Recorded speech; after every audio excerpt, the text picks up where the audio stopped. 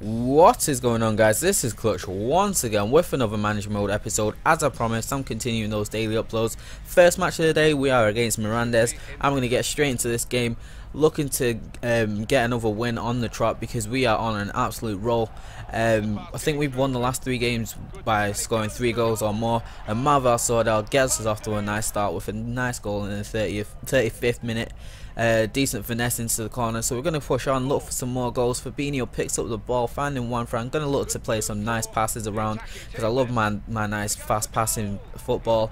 Um, managed to win a, a, corner from a Jesse Rodriguez effort and Gabriel is going to whip this in and I'm going to be looking for Nastasic or even Gonzalez and what a header that was hits heads it down into the ground. It was a bit lacking in power, but it still managed to beat the keeper, so I'm not going to complain. We are 2 0 up, and we're going to look to push for a third goal in a fourth successive game. Um, so Sordell cuts back, puts in a great cross, and Jesse Rodriguez, oh my days, what a finish.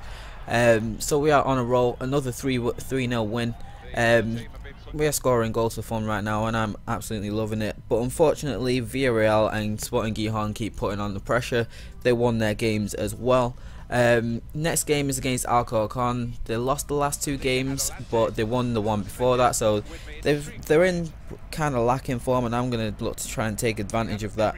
Um, neither Sporting Gijon or Villarreal were playing um, this this um, day so I, I think either they were playing the next day against each other or playing against another another club.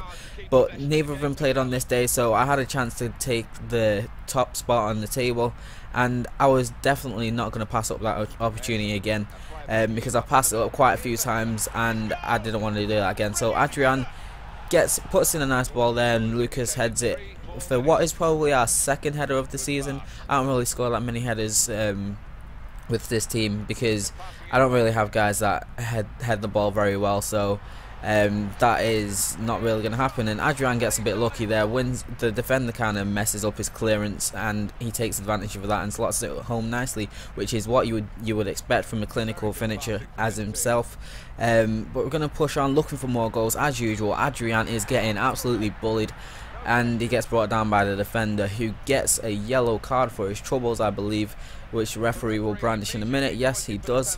So he gets a yellow card and also gives away a penalty and we are looking to get another another goal which would make it the fifth game on a trot with a 3-0 win well with scoring three goals I believe so hopefully Adrian can slot this away, and of course he can. Adrian is clinical. He does not miss from the penalty spot. He's, he maintains his 100% record from the spot um, for the season, and I don't see that see that stopping. Um, but unfortunately, we didn't manage to get another clean sheet. Uh, Alcorcon managed to pull back a consolation goal at the in the last minute.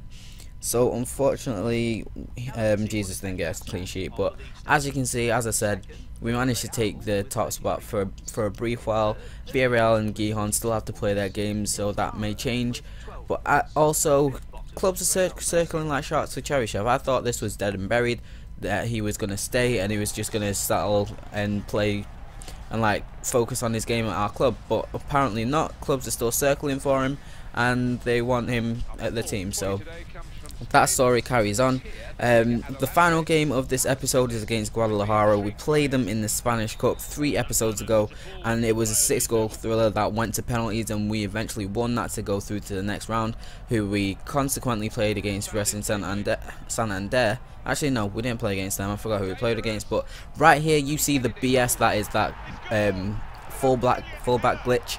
Um, my left back was miles out of position, playing their attacker on and then they got a bit of a BS goal. So I am 1-0 down against Guadalajara again for the second time in the season. Uh, Guadalajara no joke when I play against them. But Jesse Rodriguez, what a hit that was. Picked that out of the back of the net. Um, I absolutely love Jesse Rodriguez. Left foot, right foot, he scores the goals. He's, he's the perfect winger for me. He is basically the Ronaldo of my team because he's our left wing and he he's got the skills and the goals. Um, had a bit of a cheeky shot there if Adrian don't don't manage to get it, but um, what I won the corner, which is the main thing, and Ivan Gonzalez for the second time in this episode scores a goal. I think those are the only two two goals he scored all season. And right there, I get a bit of luck from the referee. The referee's playing on my side a bit. Lucas loses the ball, but um, wins it back. Sordell plays a lovely ball back to him, and what one another great finish on the half volley from Lucas. So once again, we have scored three goals, and I am more than happy. Um, we win that 3-1, and that is three another three wins on the board for us. So another nine points in this episode. I'm more than happy with my team. I'm absolutely ecstatic with how it's going. Apart from the fact that Villarreal and Gijon won't let up. They both won their, their um, matches as well.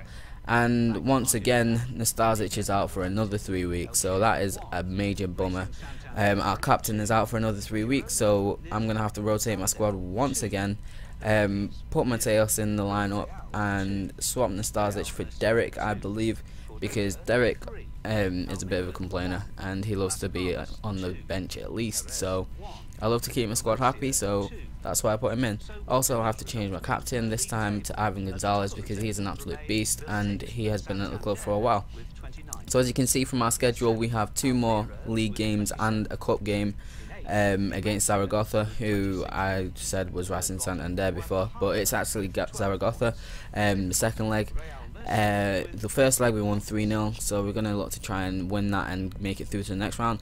But we have three more games before the transfer window opens, uh, where I'll look to do some business which my with my minimum budget. But even though it is kind of short, I'm gonna look to stretch it as much as possible and get as many good deals as I can. But as I was saying, um, that was the end of the episode. Thanks for watching once again, guys. It has been Klutch. If you liked the video, don't forget to leave a like and also subscribe if you're new, and also share it with your friends if you enjoyed it that much. But until next time, until tomorrow, actually. It's been Klutch. Peace.